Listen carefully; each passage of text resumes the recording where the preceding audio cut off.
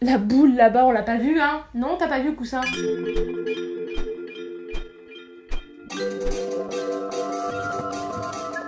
Salut mes petits proutes Aujourd'hui je vous retrouve pour une vidéo storytime. C'est un avis totalement purement personnel, c'est une histoire totalement personnelle, mais je vais vous expliquer le pourquoi du comment j'ai certaines avis sur certaines choses. Encore une fois, vous avez l'espace commentaire pour débattre, chacun sa vision des choses, il n'y a pas de vision universelle, on a juste des visions différentes de l'amour, de la sexualité et tout ça. Moi, le mien est vraiment, il est verrouillé. Vous pouvez essayer de négocier pendant 300 ans, il est verrouillé. Je dis pas que j'ai raison par contre, je dis que c'est ma vision des choses. Vous avez le droit d'avoir la vôtre, je ne la juge pas. Chaque parcours est personnel, chaque expérience sont personnelles mais je vais vous raconter ma petite histoire. Je voulais vraiment préciser ça en intro parce qu'il y en a qui ont l'impression que je fais la morale aux gens en disant c'est comme si, c'est comme ça, etc. Quand on parle de sexualité, d'amour et tout ça, il n'y a pas de vision des choses. Tant que vous êtes en accord avec vos principes personnels, ben vivez votre vie, n'écoutez pas ce que je vous dis. Et si vous n'êtes pas d'accord et que vous avez des doutes et que vous avez envie d'écouter et d'avoir d'autres avis parce que voilà, c'est toujours intéressant. Aujourd'hui, on va parler d'un sujet qui fâche, c'est la différence d'âge mineur-majeur où moi j'ai vraiment une idée mais totalement arrêtée sur le sujet que pour moi, une fille de 15-16 ans, hein, après 17-18 ans, je veux bien. Mais une fille de 15-16 ans, pour moi, c'est assez problématique avec quelqu'un de plus de 19-20 ans. Voilà. Tiens aussi à mettre un point d'honneur que j'ai eu 15 ans, que j'ai eu 16 ans. Aujourd'hui, j'en ai 24 et bientôt 25 pour ceux qui se posent la question. J'ai une tête d'enfant, je le sais, mais c'est pas le sujet. Euh, quand j'avais 15-16 ans, je sortais avec des mecs de 20-21 ans. Il y a eu des choses qui se sont très bien passées, mais il y a une histoire qui m'a énormément marqué et c'est celle-ci que je veux vous partager aujourd'hui, qui m'a fait prendre conscience que quand vous êtes adulte, quand vous avez 20, 21, 22, plus, etc., vous avez plus de facilité à manipuler des gens plus jeunes parce que vous avez l'expérience, parce qu'ils ont pleine croyance, parce qu'ils sont encore naïfs. Je parle pas de tout le monde, je ne généralise pas, on n'est pas tous jeunes et naïfs, bien évidemment, et là qui sont plus matures que d'autres, etc. Je veux bien. Mais moi maintenant, je ne fais plus de part des choses. Pour moi, un mec de 20 ans n'a rien à faire avec une meuf de 15 ans. Et puis on me le disait quand j'étais jeune et j'étais en mode non, mais pas du tout, il m'aime, etc.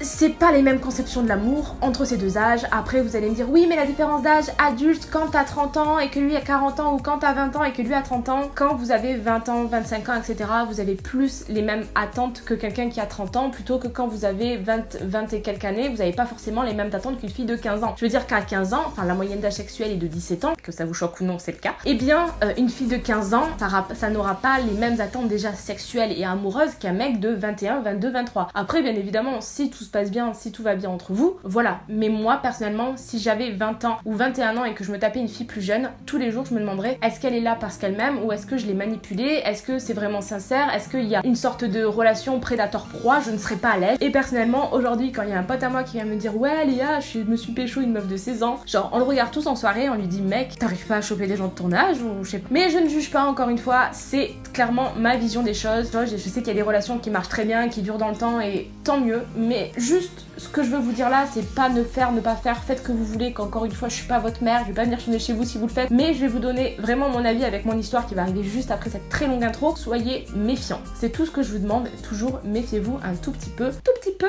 Au pire, vous vivrez des histoires assez tragiques, vous allez avoir mal au cœur, et puis au pire, dites-vous que ça vous fera une expérience en plus si jamais ça vous est arrivé. C'est ce qui m'est arrivé. Donc, en redit, let's go, mais c'est parti pour la story time. C'est horrible à dire, mais pour moi, c'est important de faire des story time quand il y a une chute et une morale à cette histoire. Bref, si vous avez un peu suivi ma chaîne ou si vous débarquez sur ma chaîne, j'ai fait une vidéo sur mon éducation sexuelle et amoureuse. C'est-à-dire que j'ai été éduquée à Léa, faut que t'attendes le bon, faut pas faire coucher avec n'importe qui, faut pas ci, faut pas ça, nanana. Faut que tu trouves le garçon qui t'aime, euh, les garçons de ton âge ils sont immatures, etc. etc. Euh, te précipite pas trop. Donc ce qui fait c'est que, euh, bon, j'ai eu des relations, etc. J'ai fait ma première fois à 15 ans, que je ne regrette pas. Encore une fois, on va pas débattre là-dessus, ce n'est pas le sujet, mais vous pouvez très bien faire votre première fois à 15 ans et ne pas la regretter comme la faire à 20 ans et la regretter à vie. Mais voilà, moi je n'ai aucun regret, je ne... Ce qui s'est passé c'est que j'avais quoi 15-16 ans. Du coup c'était ma deuxième relation que j'ai eue. En fait c'était l'époque des skyblogs. Alors ceux qui ont connu Skyblog, vous savez de quoi je parle, mais à l'époque sur Skyblog, et eh bien vous créez votre blog, après il y avait des genres de, de chat et tout ça, vous pouvez discuter. Et euh, moi j'étais très là-dedans, euh, j'ai toujours été dans les blogs et tout ça depuis mon plus jeune âge. J'ai rencontré un garçon et ce garçon on va l'appeler, on va l'appeler Quentin. Il s'appelle pas Quentin précisément. En fait j'ai rencontré un mec qui s'appelait Quentin, lui avait 19-20 ans. Et en fait euh, ce Quentin et moi on a commencé à pas mal discuter, donc il était beaucoup plus âgé que moi. Il avait des paroles qu'un mec de 15-16 ans n'avait jamais eu envers moi. C'est-à-dire que quand il parlait de choses, il savait de quoi il parlait, il savait comment me faire rêver il savait comment me faire miroiter, il savait me dire ce que je voulais entendre en fait. Surtout à cet âge-là, moi ce que j'attendais c'était de rencontrer le prince charmant, le prince de ma vie pour fonder une famille et vivre ma vie de princesse Disney. Euh, voilà, j'attendais mon prince à cette époque et je suis tombée sur Quentin qui a su très très bien manier tout ça. Donc voilà, il m'a dit que j'étais incroyable, que si que ça et puis moi j'y ai cru. Ce qui a été fort avec ce garçon, c'est qu'en fait on a commencé à beaucoup parler, genre on s'écrivait tous les jours, etc. Et il était euh, pas du tout du même endroit que moi, je crois qu'il était de Bordeaux. Et c'est la première fois que j'en parle ouvertement et, publiquement, enfin c'est la première fois que vraiment j'en parle de cette histoire euh, réellement en ayant conscience de tout. Parce que j'ai mis beaucoup d'années avant de comprendre que il avait abusé en fait. Il avait fait un abus de pouvoir parce que euh, il avait su me manipuler comme une petite poire, une petite dinde. Et euh, ce garçon m'appelait quasi tous les soirs. On restait une heure au téléphone, limite on s'endormait au téléphone. Enfin, genre j'avais 15-16 ans, c'était la première fois que je vivais ça. C'était le love to love. Il y avait aucun garçon qui était arrivé à, à tant me faire vibrer mon petit cœur tout mou que ce garçon-là. Parce que ce garçon, il avait 19-20 ans et il savait très bien ce qu'il faisait. À 19-20 ans, la plupart du temps, t'as eu des relations. En plus de ça, c'était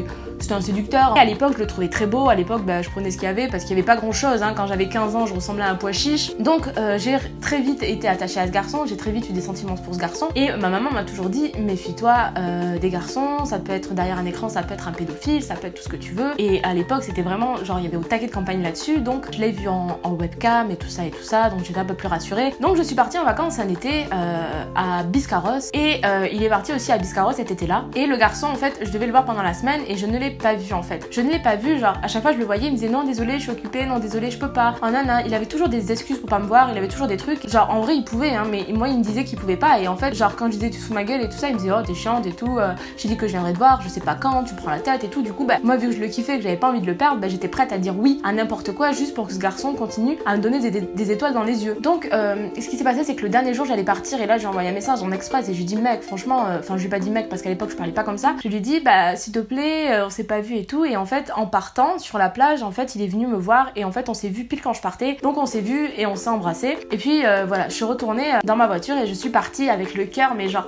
rempli d'étoiles, quoi. J'avais vu ce garçon, j'avais vu, enfin, vraiment, je l'avais vu, on s'était embrassé, c'était concret pour moi, on était ensemble. Aussi, il m'avait dit qu'on était ensemble. Mais en fait, pendant la semaine, lui, il avait fait exprès de pas me voir, juste pour me voir un tout petit instant et créer toute cette euphorie autour de moi, tout créer, enfin, toujours me garder clé en fait. Et euh, entre temps, il y a eu des choses que j'ai vues un peu chelou. Genre, il y avait une autre fille avec un skyblog qui avait fait un article sur lui en disant ouais, il est trop beau et tout, nanana et tout. Et j'avais demandé c'est quoi ça? Il m'avait dit bah ça te concerne pas, d'où tu vas fouiller, c'est une amie, nanana, vas-y tu me saoules, etc.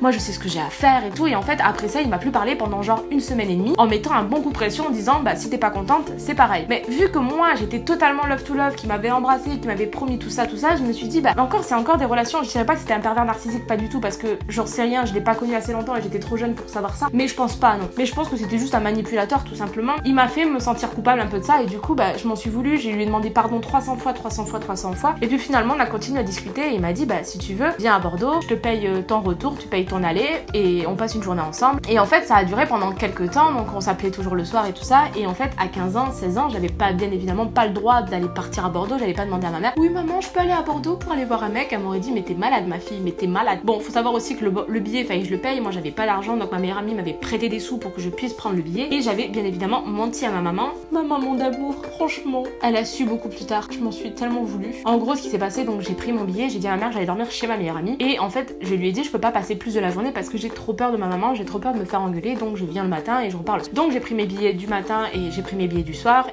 direction Bordeaux. Donc je me souviens que j'étais paniquée parce que vraiment moi j'ai vécu à la campagne, je suis pas sortie, j'ai toujours été cloîtrée chez moi, ma mère n'a jamais voulu que je sorte. Enfin j'avais le droit de sortir les après-midi mais de là aller à Bordeaux toute seule, jamais de la vie j'avais le droit de faire ça. Et j'y suis allée et pendant tout le trajet j'étais en mode j'avais trop peur qu'on dise bonjour la petite Léa est appelée à l'accueil parce qu'elle n'a pas le droit de prendre le train. Genre j'étais trop stressée. Donc bref je fais mon trajet de train, j'arrive à Bordeaux, il vient me chercher etc etc.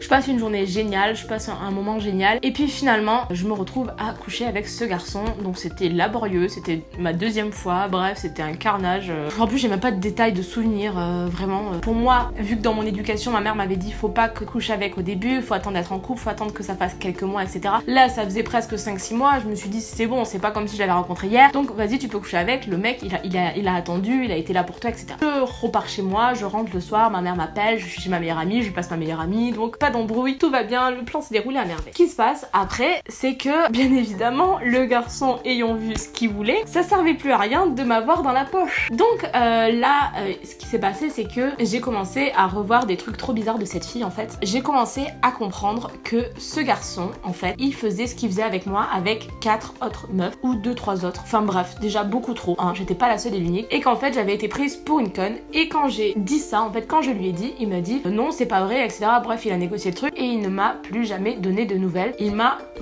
comme ça du jour au lendemain. Je vous avoue qu'à l'époque, ça m'a brisé mon petit cœur. En vrai, on n'a jamais été ensemble. En vrai, il m'a juste fait miroiter. En vrai, il s'en battait les couilles de moi. Il m'a juste fait croire tout ce que je voulais croire et tout ce que je voulais entendre. Et moi, j'ai gobé ça euh, comme un petit canari. Après ça, j'ai vrillé total dans ma vie. J'ai plus cru en tout ce qu'on m'avait dit. Toutes les croyances que ma mère m'avait inculquées, j'y croyais plus. Et je suis tombée sur un connard. En fait, dans le fond, en grandissant, je m'en suis voulu à moi en me disant c'est toi, t'es fautive, Léa. Et clairement, je suis fautive. Et aujourd'hui, il y en a qui vont me dire mais non, t'es pas fautive, il t'a manipulé, etc. Mais en vrai de vrai, sans, euh, sans manipulateur, sans victime, n'y a pas de manipulateur en fait. Donc si j'avais pas gobé ces conneries et si j'avais pas cru tout ça, bah voilà, après j'étais jeune, j'avais pas conscience de tout ça. Je m'en suis voulu dans le sens où ouais, je me suis fait couillonner, j'aurais dû écouter plus ma maman et j'aurais dû rester chez moi et pas aller à Bordeaux voir ce trou de balle. Euh, je l'ai jamais regretté. J'ai jamais eu de regret de ça parce que ça m'a fait prendre conscience qu'il y avait des dangers et que j'étais pas super forte, j'étais pas une super héroïne et que oui, malheureusement j'avais beau être très mature et très en avance pour mon âge, j'étais quand même une enfant et que j'étais quand même une gamine et que j'avais pas conscience et confiance en tout. Voilà, jamais regretté et ce garçon, je crois qu'il est revenu quand j'avais genre 18-19 ans en me disant coucou tu vas bien? Genre clairement genre lol on n'a pas beaucoup d'écart, je crois qu'on a 3-4 ans, mais assez pour, euh, pour hein, dans tous les sens du terme. Génial la blague. Du coup, maintenant, j'ai beaucoup de mal euh, avec tout ce qui est relation adulte-mineur parce que bah, maintenant je suis adulte et j'ai plus du tout la même vision des choses parce que maintenant, étant adulte, je vois vraiment euh, les plus jeunes pas comme des sous-merdes et ça, je le précise. Je vois vraiment que quand on est ado, en fait, quand j'étais ado, je m'apercevais pas du fait qu'on soit autant des proies en fait, genre vraiment des proies. Encore une fois, je mets pas tout le monde dans le même panier, mais quand j'étais ado, je me sentais vraiment surpuissante, je me sentais vraiment très je me sentais vraiment prémature, etc. Et je l'étais, hein, je dis pas que je l'étais pas, mais même si je l'étais, ben, il y avait des gens qui étaient vachement plus puissants et plus forts que moi. Et ce qui fait que je me suis fait un petit peu avoir pas mal de fois dans ma vie. Oh, ben maintenant c'est fini, hein. Ah ouais, par contre. Mais voilà, aujourd'hui j'en veux pas ce garçon. Bon, si je venais à le recroiser, je maintenant étant adulte, j'aurais une vraie conversation avec lui en disant mec, t'as profité d'une fille mineure quand même, hein. t'as pas honte de toi, t'as pas honte. Et en plus de ça, euh, je pouvais rien faire, je pouvais rien dire. Je vais pas aller porter plainte. oui, il a profité de moi alors qu'il est majeur. Enfin bref, détournement mineur. Bref, j'aurais jamais dit ça à ma mère. Enfin voilà, je me suis fait couillonner. Et c'est pour ça que maintenant je vois d'un très, très mauvais oeil les relations enfin, mineurs adultes. Parce que aussi je connais mes potes. Voilà, voilà, quand je vois mes potes de 20 ans, comment ils parlent des meufs en disant ouais, je vais la ken, etc. Ah, ils sont pas tous comme ça, bien évidemment. Genre vraiment, j'ai du mal à comprendre. C'est très personnel encore une fois, hein. mais j'ai aussi des amis qui sont fait avoir de la même manière. Je sais que c'est pas des cas isolés malheureusement. Donc voilà, vous pouvez avoir des relations mineures adultes, mais méfiez-vous. Bien évidemment, il y a plein de facteurs qui rentrent en compte. Après, j'ai jamais, quand j'étais mineure, j'ai jamais eu de relation sexuelle avec des majeurs, ça c'est clair et net. J'en ai jamais eu aucune, euh, à part avec ce garçon. Ça m'a servi de leçon. Voilà, après j'ai appris à me méfier plus. Mais je me suis fait avoir d'autres fois, hein, euh, vous inquiétez pas. Hein. Moi j'aimais bien foncer dans des murs. Moi c'est ce que j'ai kiffé dans ma vie, c'est foncer dans des murs plus gros que moi et me dire aïe ça fait mal. Et puis me relever et me dire bon ben maintenant bah on va trouver un autre mur parce que voilà, j'ai toujours aimé euh, aller jusqu'au bout des choses. Beaucoup moins maintenant parce que maintenant je sais comment ça finit, mais à l'époque j'expérimentais. Voilà. Moi j'avais la chance ou la malchance peut-être d'être une fille assez forte et assez solide, mais je sais que c'est pas le cas de tout le monde et je sais qu'il y a des filles très jeunes qui se font manipuler par des, mecs plus âgés et qui se retrouvent à faire des grosses dépressions, des tentatives de suicide et tout ça. Et voilà, donc tout ça pour vous dire méfiez-vous, méfiez-vous. Euh, bien évidemment, il y a des garçons qui vont être majeurs, mineurs, qui, ont, qui seront très bien intentionnés, mais euh, méfiez-vous quand même. Vous le prenez comme vous voulez et euh, je vous fais des gros bisous et je vous retrouve dans une prochaine vidéo. Ciao. Rue, la meilleure des éducatrices. J'ai survécu comme si j'étais Ken, mon rebeu. Trop de soucis dans la tête, plus le temps de faire la fête. Je suis en bas, maman s'inquiète. Depuis petit gosse à plein pro. Très tard, solo, je. L'être humain m'a déçu.